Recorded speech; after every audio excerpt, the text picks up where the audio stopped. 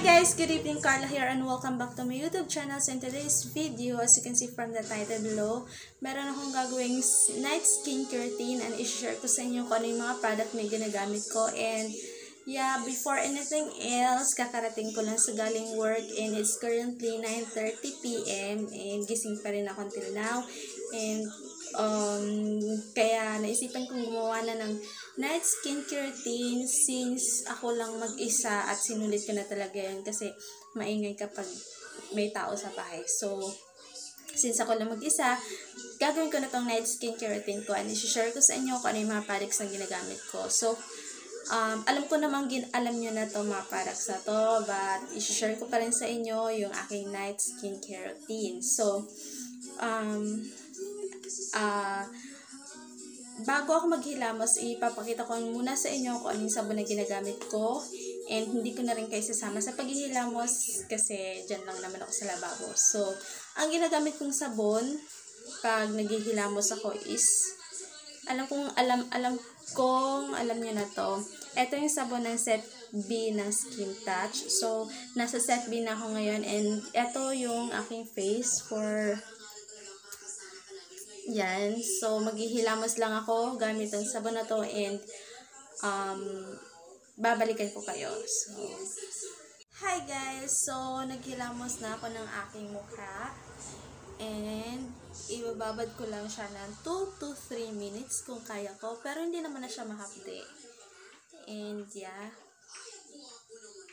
Ibababad ko lang siya and babalikan ko kayo.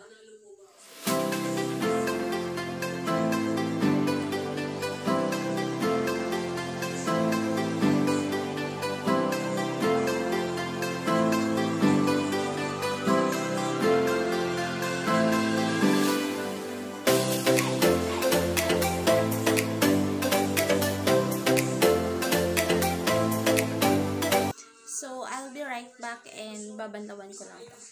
And I'm back um, after ko maghilamas ng face. Ganito na ang, result or ang tsura ko. Nagsishiny shimmering na siya. And ang next step na gina ginagawa ko kapag nag-skincare ako is nag-facial cleanser ako using this Skin Touch Diamond fa- facial facial facial cleanser. So, ito yung ginagamit ko. Minsan lang ako gumagamit nito. And, uh, 100 ml na siya. And, I think hindi pa to nangalhati kasi mabigat pa siya. And, yeah, uh, babasahin ko lang and gagamitin ko to in front of you guys. So, ito na nga, ang facial cleanser. Ilalagay ko lang ng konti dito sa aking face. Yan. And, kahit konti lang, bubula na siya ng bubula. In circular motion. Maganda siya gamitin kasi ah pagka, kapag meron kayong mga ano yun, mga half day, half day or ano, kasi malamig siya sa mukha. Oo, malamig siya sa mukha and masarap na kapag-relax talaga ng face. Kalalagay yung bibig ko. See? Hirap na lang situation ko dito.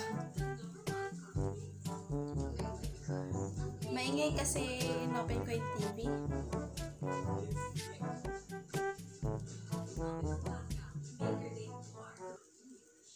Ang tagal ko na hindi nakagawa ng video, gawa nga busy and luckily ngayong ang gabi nakapag gawa ako at sininit ko talaga siya bago ako matulog kasi mamaya pa matutulog.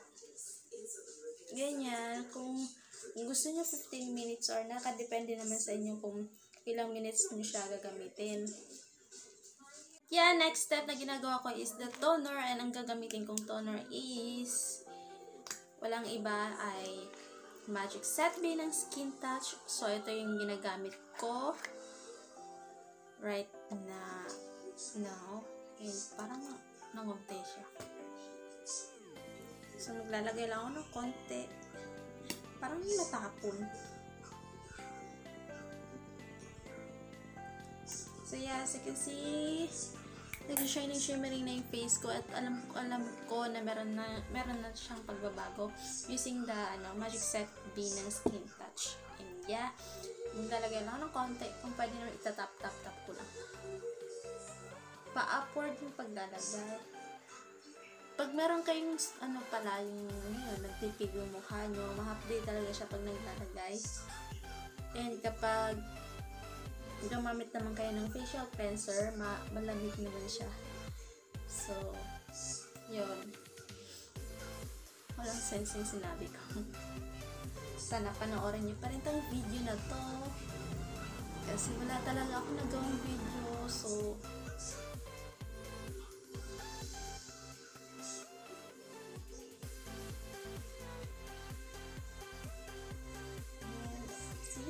kahit maghihilamos ka ng maraming beses, meron at meron pa rin dumi sa mukha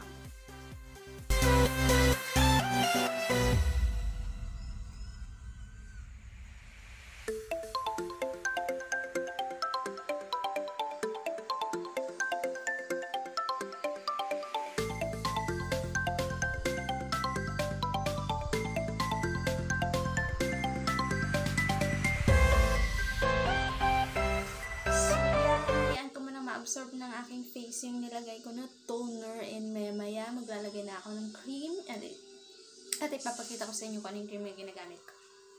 Step na ginagamit ko ay ang night cream ng Skin Touch. Kung nakikita niyo, ganyan.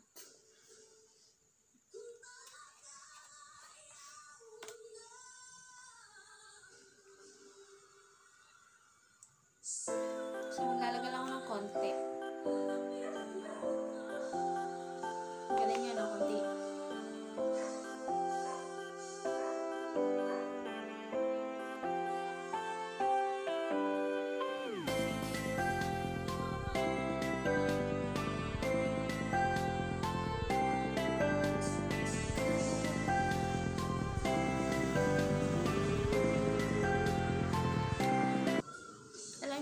kahit hindi ako naglalagay ng kahit anong foundation sa mukha sa umaga kapag pumapasok ako, ang ginagamit ko lang ay yung sunscreen ng Set B na Skin Touch.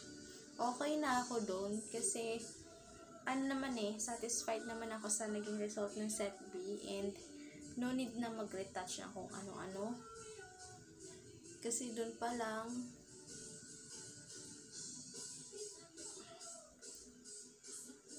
parang natural. Charot, natural lang. Parang natural, doon eh, may ginagamit ka. Kaya hindi lang ako nag... Simula nag... Gumamit ako ng skin touch, hindi na naglalagay na kung ano-ano sa mukha. Ah, exact kilay and lipstick. Pero foundation at saka ano, cream, sunscreen lang.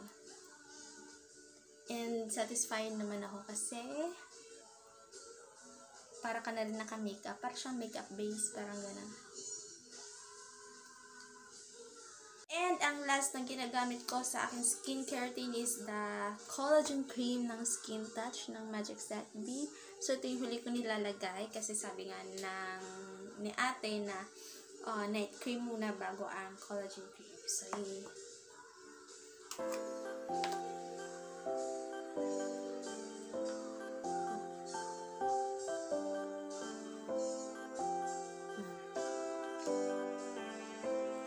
lang nilalagay ko. Ang plan- Ang plano ko talaga ngayon, hindi ako mag-skincare. Kasi antok na antok na ako kanina.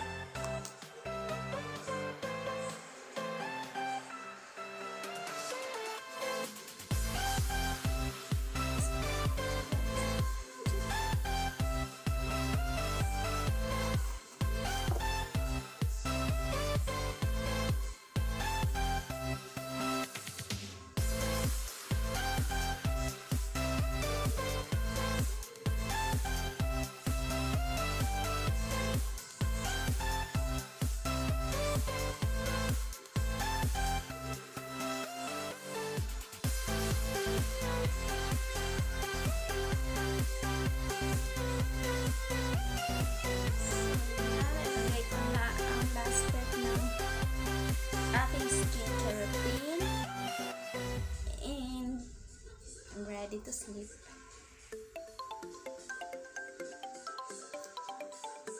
So, here is my final sa inyo.